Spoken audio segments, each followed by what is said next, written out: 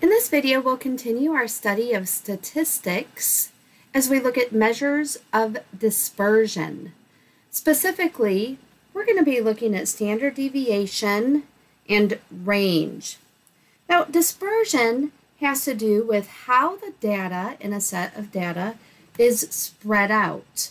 So measures of dispersion are used to measure the variability of the data, including the spread of the data, and how the data vary about the mean. The range and standard deviation are the measures of dispersion that we're going to be looking at in this section. To start with, we'll look at range. Range is the difference between the highest and lowest values. It indicates the total spread of the data. You could think of it as uh, where the data ranges from, from here to here. And we're going to look at how big that range is, how big the spread is from the lowest to the highest. So simply put, it's just the difference, or in other words, you subtract the lowest value from the highest value to get the range. So of our two measures of dispersion that we're going to be looking at, range is by far the easiest of the two. Again, all we're going to do is subtract the biggest number minus the smallest number. Standard deviation, as you can see here, has a little bit more complicated formula. But even though the formula is complicated, don't let it scare you off. By using a very specific procedure, it's quite easy to calculate the standard deviation. I, I would encourage you to use this process that we're going to look at and even to get in the habit of using a specific chart. You could build the chart in a Word document uh, or, or any other platform. And I think that, that you'll find that pretty helpful. Let's look at an example here of sugar in cereal. Determine the range and the standard deviation of the following numbers of grams of sugar in select cereal. The first step that I took as I'm looking at these different uh, data points is I have put the numbers in order. So you can see they were listed as 13, 6, 15, 2, 14, and so on. I simply rewrote them, putting them in order starting with the lowest, ending with the highest. And to find the range, what I'll do is I'll subtract the 0 from the 20, and that gives us a range of 20 minus 0 or 20. So we can calculate that the range of this set of numbers is 20.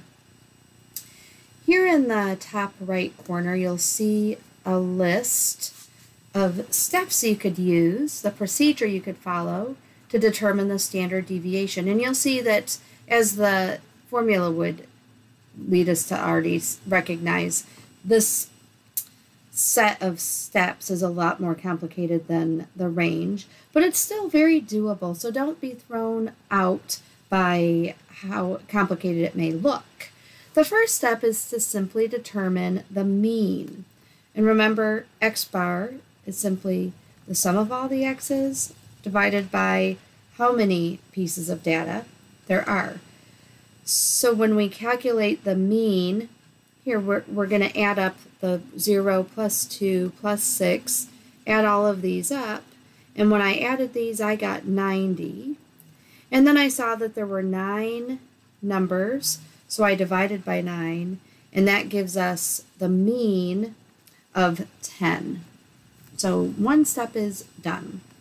Next, I'm going to make this chart where the columns have data, data minus the mean, and then the data minus mean squared. Because this numerator is asking us to find the sum of all the uh, x minus x bars squared. So doing that with a chart is often easier than doing it simply from a list of numbers. Here's the chart. I've already determined that the mean, the x bar is 10. So when I do 0 minus 10, I get negative 10. 2 minus 10, 6 minus 10, 6 minus 10. And then once I hit 13, I'm getting to a place where the numbers are positive, 13 minus 10, and so on. So each of these values in this first step of the chart is just the x minus the mean, the x bar. Next, I'm going to square each of those numbers.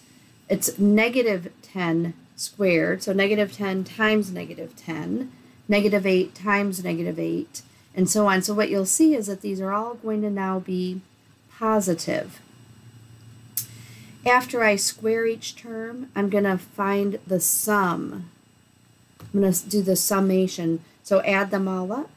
When I added up the list, I've gotten 362. And you can see that we're on step six now. The next step is to apply the formula. So we're going to put our sum in the numerator and we're going to divide that by n minus 1. n is equal to 9 because, as you see over here and we count the number of numbers, there were 9 x's from 0 to 20. So we're going to do 362 divided by 8, and that number is uh, 45 and 25 hundredths. Square root it, and we've got our standard deviation. I'm going to round that to two decimal places, and that gives us an approximate standard deviation of 6 and 73 hundredths. Let's look now at what that standard deviation is actually telling us. What does the standard deviation tell us? When I make a number line segment, a number segment here, and I put each of the data points on that segment in its respective location. I've got a, a zero, I've got a two, I've got two sixes, a 13, uh, two 14s, and a 15, and a 20. We're looking at how far are these numbers spread out from the mean. Now our mean was 10, and this it's also the median. But our mean, or the x bar, is 10. So we're looking at how far spread out are these pieces of data from the mean. And we can see that it's pretty spread out. So that 6 and 73 hundredths is, uh, is a little bit bigger than we see in some of the other examples in our textbook. But that's standard deviation. I hope that this video has helped you walk through the process. If you do have questions, please don't hesitate to contact me and I'd be happy to assist you further.